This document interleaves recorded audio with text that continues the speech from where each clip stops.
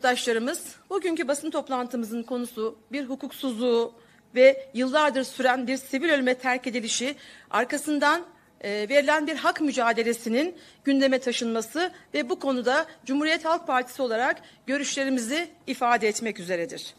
Değerli basın mensupları, değerli yurttaşlarımız, hepimizin bildiği gibi 15 Temmuz darbe girişiminin ardından 20 Temmuz'da ilan edilen sivil darbenin arkasından ardı ardına KYK'lılarla yüz binlerce yurttaşımız görevinden ihraç edildi ve bu süreç 5 yıl aşkın süreci, süredir de sonuçlanmadan devam etmekte ve sayısız hak ihlalleriyle baş başa bırakmaktadır.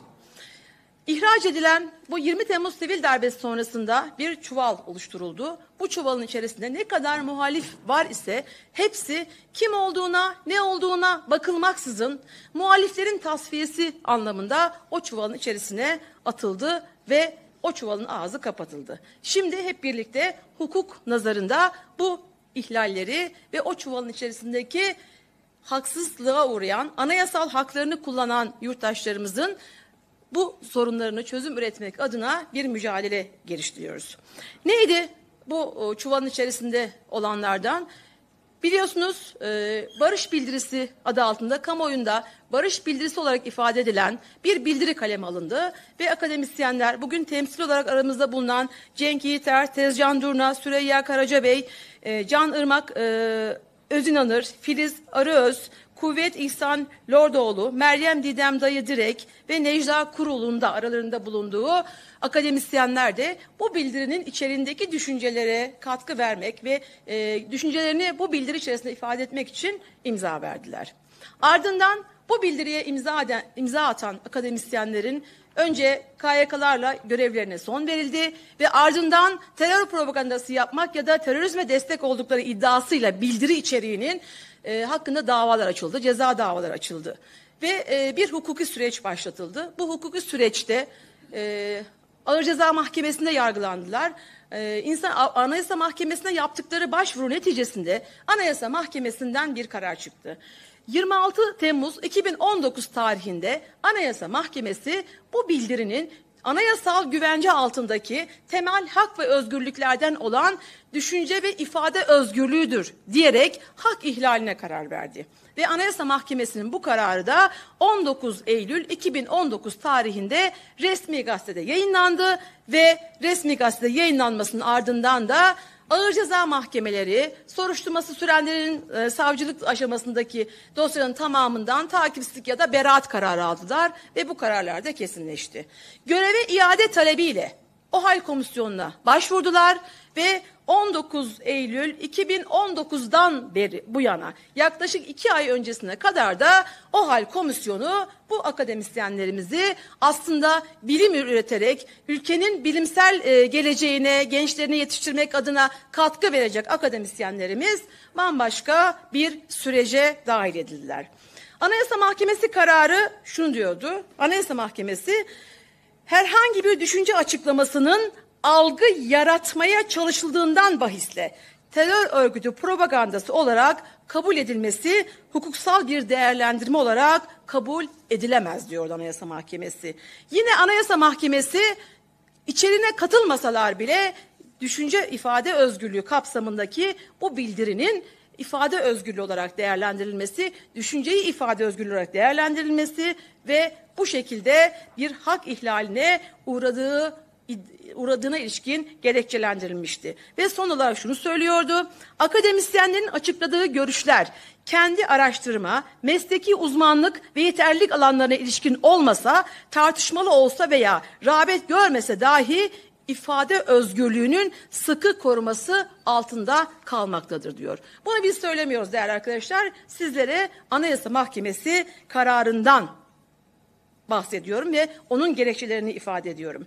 Ve son olarak diyor ki Anayasa Mahkemesi başvurucuların ifade özgürlüğüne yapılan müdahalenin demokratik toplum düzeninin gereklerine uygun olmadığı sonucuna varılmıştır ve anayasanın 26. maddesi uyarınca da anayasa, anayasanın 26. maddesinin bu e, OHAL komisyonundaki dosyalarla ilgili ihlal edildiği sonucuna varılmıştır diyor. Kabul edilebilirliğini oy birliğiyle, ihlal edilirliğini de oy çokluğuyla Anayasa Mahkemesi kabul ediyor. Anayasa Mahkemesi'nin kabulünden sonra Anayasa Mahkemesi biliyorsunuz Türkiye Cumhuriyeti Devleti'nin en üst yargı merciidir. Kararları hukuki boşluk olması halinde kanun yerine geçen ve tüm kurumları, kuruluşları, idareyi ve kişileri bağlayan bir karardır Anayasa Mahkemesi kararları.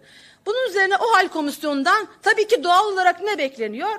Düşünceyi ifade özgürlüğüdür ve içeriği itibariyle de bu e, bildirinin içeriğini imzalayan akademisyenlerin görevlerine iade edilmesi gerekir diye hep birlikte bekledik.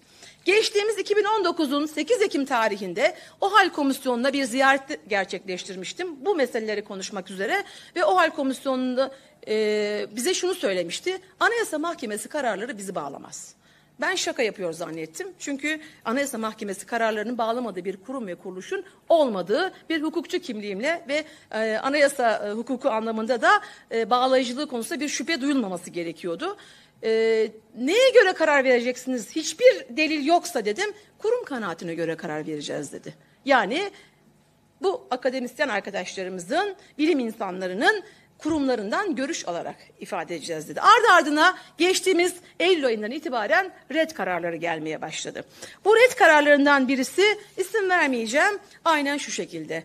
Diyor ki 11 Ocak 2019 tarihli bu suça ortak olmayacağız başlıklı bildiriyi imzası ve kapsamı tespit, olgu ve bilgiler ile başvurucunun terör örgütüyle irtibatlı olduğuna dair kurum kanaat ediyor.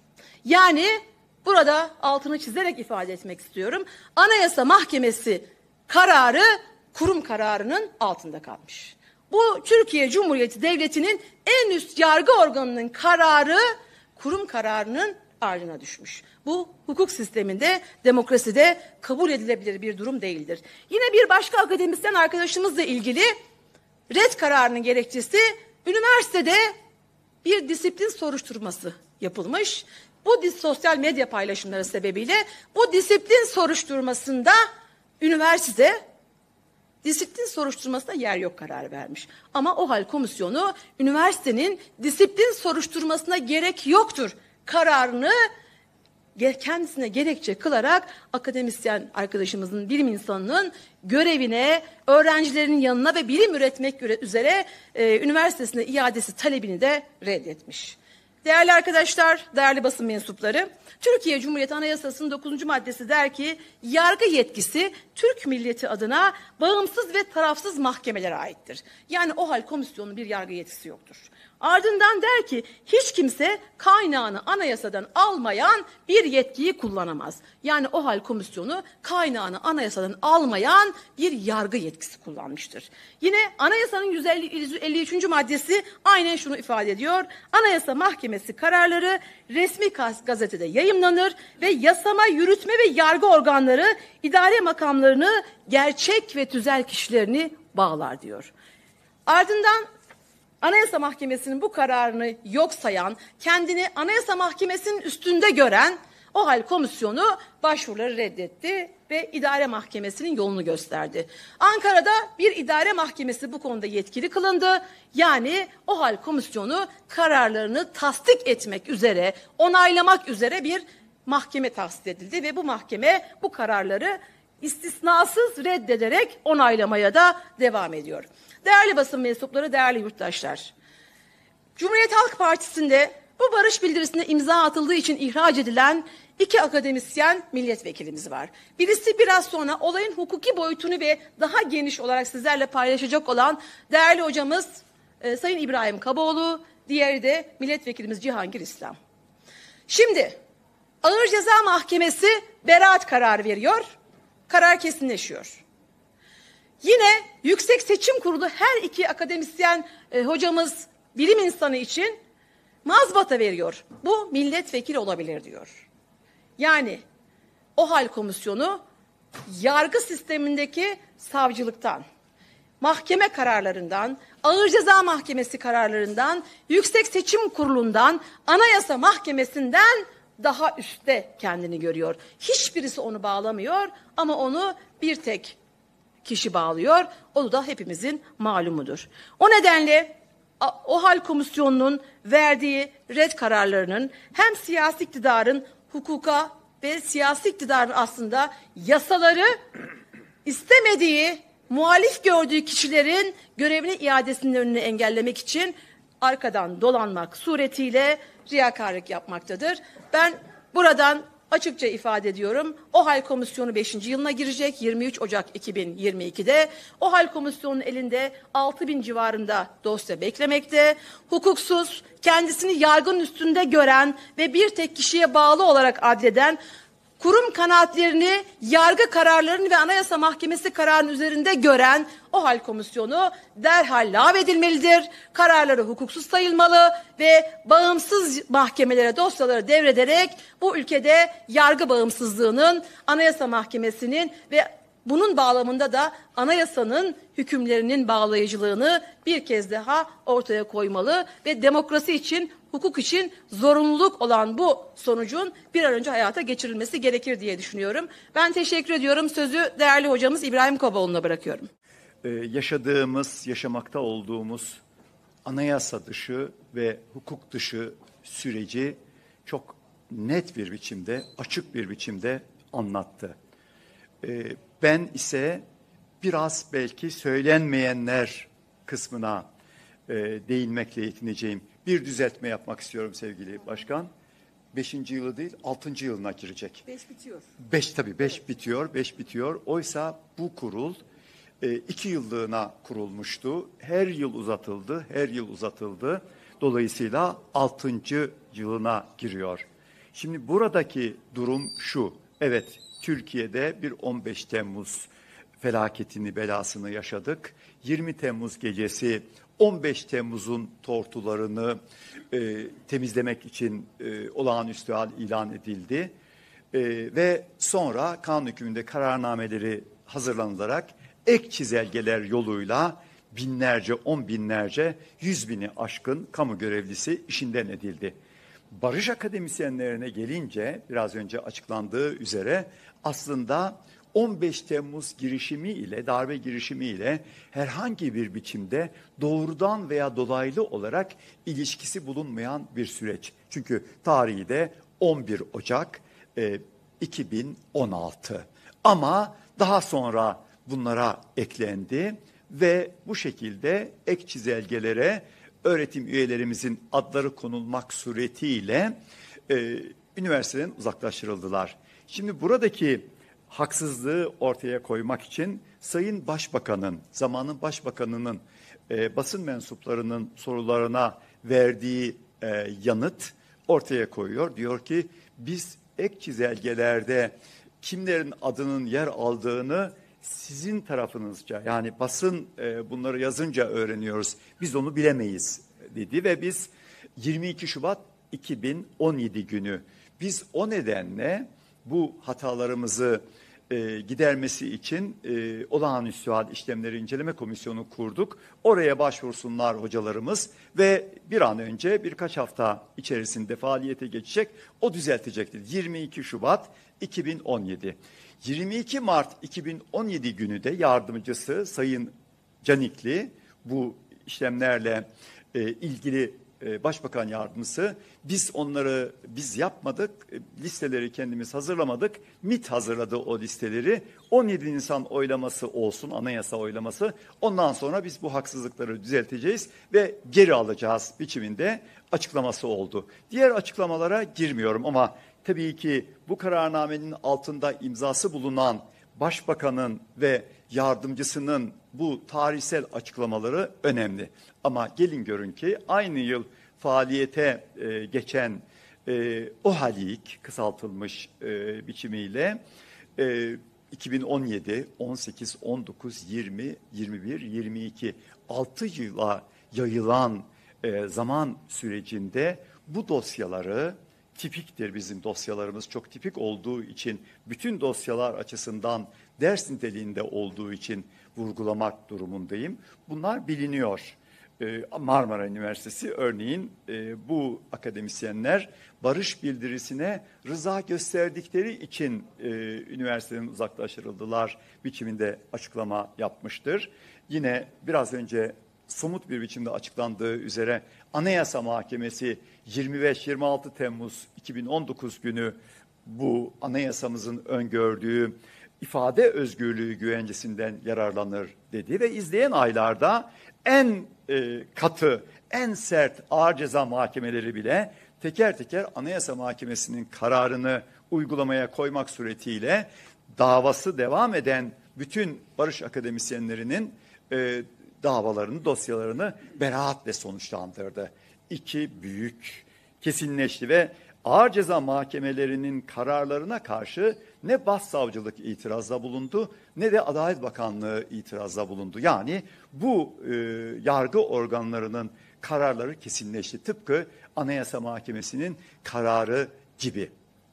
E, ama e, komisyon bekletti, üç yıl daha bekletti ve nihayet geçen aylarda bu dosyaları teker teker e, red e, kararıyla sonuçlandırmaya başladı. Bugün geldiğimiz e, durum eşik e, 2022 yılında bu komisyonun 6. yılına e, giriyor olması eşiğinde bizim gibilerin dava dosyalarını tuttuğu gibi diğer e, binlerce e, başvurucunun dosyalarını da elinde tutmaktadır. E, bu açıdan şu saptama önemlidir. Bizim gibi durumu açık olan e, kesinleşmiş yargı kararlarına karşın ve yarım sayfalık bir metne ifade özgürlüğünün toplu kullanımına rıza gösteren kişilerin dosyalarını bu şekilde sonuçlandırmış olan bir komisyon diğer 100 bin dosyayı e, nasıl sonuçlandırdı, hangi ölçütlerle sonuçlandırdı bu konuda da fikir veriyor. Demek ki hukuki hiçbir ölçüt yok. Esasen tam bir e, keyfilik söz konusu. Şimdi burada kamuoyunda pek dile getirilmeyen çok daha vahim bir durum söz konusu.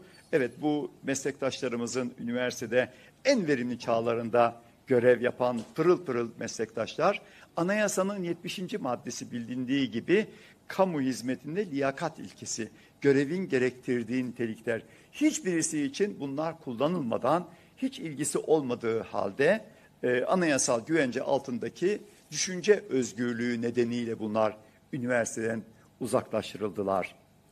Şimdi e, bu açıdan e, aslında e, sorun e, esasen e, bilim kıyımı açısından Türkiye üniversitelerinin içinde bulunduğu durum bakımından e, ibret vericidir ve bu meslektaşlarımız e, haklarından, özgürlüklerinden e, tamamen e, yoksun kılındılar. Bu tabii anayasal e, açıdan kesinlikle mümkün olmayan bir durum. Ama ikinci bir boyutu var. E, biraz önce e, sevgili Karaca'nın e, anlattığı üzere e, yargısal başvuru hakkından yoksun kılındılar. 2016, 2017, 6 yıldır mahkeme kapılarını tıklatamıyorlar bile. Ve bu komisyon bunu kilitlemiş bulunuyor. Demek ki e, adalet e, engellenmiş bulunuyor. Ama dahası üçüncü bir boyutu var. O da ayrımcılık e, diyebileceğimiz ayrımcılık yasağına e, tabi olmuş. Ayrımcılık yasağı ilkesi ihlal edilerek böyle bir duruma düşürdüler. Çünkü e, sayı 400 kadar üniversite dışında tutulan ama büyük çoğunluğu haklı olarak üniversitedeki görevlerine devam ediyorlar.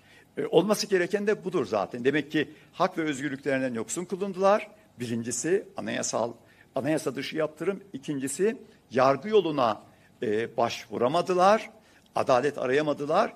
Üçüncüsü de olması gereken yerde bulunmaları gerekirken çok yüksek sayıdaki meslektaşlarının e, devam ettiği üzere üniversitelere onun yerine üniversite dışında bulunuyorlar. Şimdi burada eğer gerçekten bu suç olsaydı o zaman şu anda sayısı 1500-1600'ü bulan 2000'e yakın öğretim üyesi meslektaşımız üniversitede görevlerine devam edemezlerdi. Bu bile tek başına maruz kal kalınan işlemin ne kadar e, hukuk dışı olmanın ötesinde mantık ve akıl dışı olduğunu gösteriyor. Yine sayıldığı üzere anayasal hak ve özgürlükler bütünü hem içerik olarak hem yargısal başvuru yolları açısından ihlal edildiği gibi anayasal organların e, kararları tamamen anayasa dışı bir birim, geçici bir e, kurul tarafından yok sayılma eşiğine gelinmiş bulunuyor. Tabii ki e, bu kurulun mensuplarının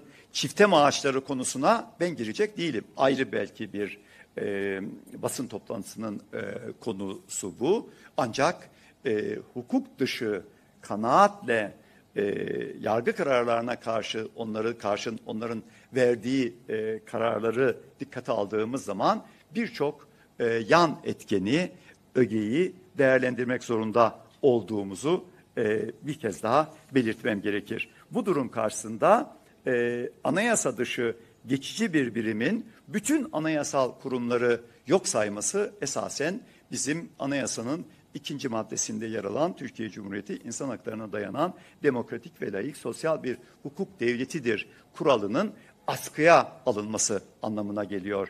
Biz ki siyasal partiler olarak e, bütün partiler anayasanın değiştirilmez maddelerine dokundurtmayız biçiminde sürekli söylem içerisindeyiz. O zaman anayasanın değiştirilmez maddesini askıya alma cüretini kendisinde gören başkentteki bu anayasa dışı fiili e, kurumun kararlarına nasıl seyirci kalınabiliyor, nasıl katlanılabiliyor bu soruyu da yüksek sesle sormak gerekir. Bu bakımdan e, bu e, basın toplantısının amacı şudur. Tabii ki lağvedilmelidir bu kuruluş, bu birim ama bu birimin verdiği kararların hukuki bir değeri bulunmamaktadır.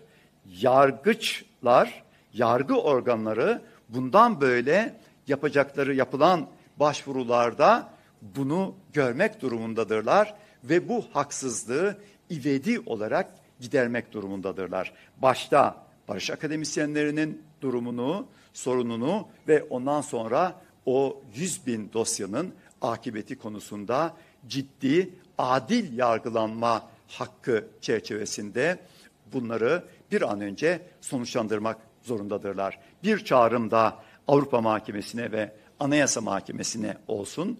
Ee, Anayasa Mahkemesi bize yakın olduğu için söylüyorum. Evet Anayasa Mahkemesi'nin 26 Temmuz kararı çok önemlidir. Fakat Anayasa Mahkemesi'ne çağrım daha önceki e, eksiğini tamamlaması açısından bir an önce pilot karar vermesi, bir model karar vermesi ve bu karar doğrultusunda bu dosyaların e, ivedi bir biçimde yeniden ele alınarak sonuçlandırılması eğer Avrupa'ya e, gidilmesi durumunda Avrupa Mahkemesi'nin de 6 yıl önce düştüğü veya düşürüldüğü hatadan geç de olsa dönmesi ve bir pilot karar yoluyla artık bu hukuk dışı durumların bir an önce giderilmesidir.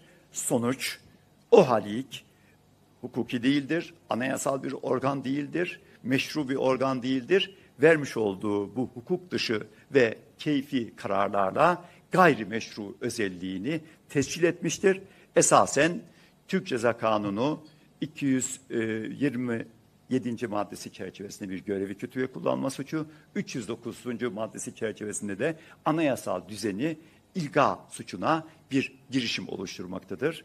E, bu itibarla e, bundan böyle biz e, Cumhuriyet Halk Partisi olarak bugüne kadar yaptığımız gibi 12 e, adil yargılanma yasa önerisini hazırladığımız ve meclis başkanlığına teslim ettiğimiz üzere bu olağanüstü e, e, o hal KHKZ'deler dahil olmak üzere bundan böyle de bu mücadeleye geniş bir dayanışma ağı içerisinde yoğun bir biçimde devam edeceğimizi belirtir. Sözlerime son verir. Hepinize saygı ve sevgilerimi iletir.